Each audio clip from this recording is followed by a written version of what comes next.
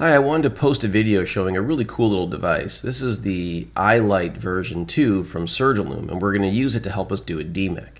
What this basically is is a little magnetic indirect light that will sit on the lid speculum and it's, it's attached to external battery power. The Generation 2 version is much brighter than Generation 1 and I found it to be a, a much better device. So here in our DMEK, we've already removed the patient's endothelium and I'm making a peripheral iridotomy. The tissue is going to go in and then we're going to uh, attach the little iLite to the lid speculum, which is right here, this little black device.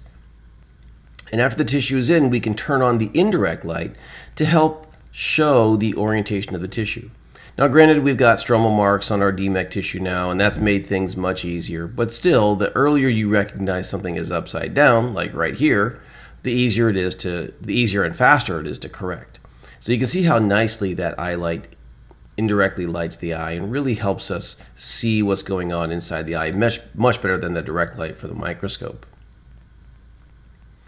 So though it may not be necessary in every case, you know, having access to this iLite can be really helpful, especially when you're doing your lamellar surgery.